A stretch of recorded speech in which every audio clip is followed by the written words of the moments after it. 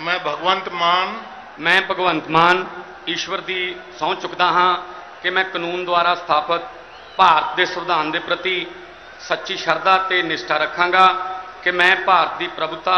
ਅਤੇ ਅਖੰਡਤਾ ਨੂੰ ਬਰਕਰਾਰ ਰੱਖਾਂਗਾ ਕਿ ਮੈਂ ਪੰਜਾਬ ਰਾਜ ਦੇ ਮੁੱਖ ਮੰਤਰੀ ਵਜੋਂ ਆਪਣੇ ਕਰਤੱਵਾਂ ਨੂੰ ਵਫਾਦਾਰੀ ਤੇ ਸ਼ੁੱਧ ਅੰਤਕਰਨ ਨਾਲ ਨਿਭਾਵਾਂਗਾ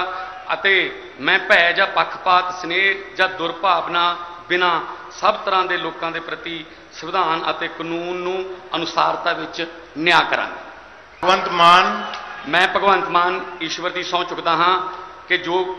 ਕੋਈ ਮਾਮਲਾ ਪੰਜਾਬ ਰਾਜ ਦੇ ਮੁੱਖ ਮੰਤਰੀ ਵਜੋਂ ਮੇਰੇ ਵਿਚਾਰ ਅਧੀਨ ਲਿਆਂਦਾ ਜਾਵੇਗਾ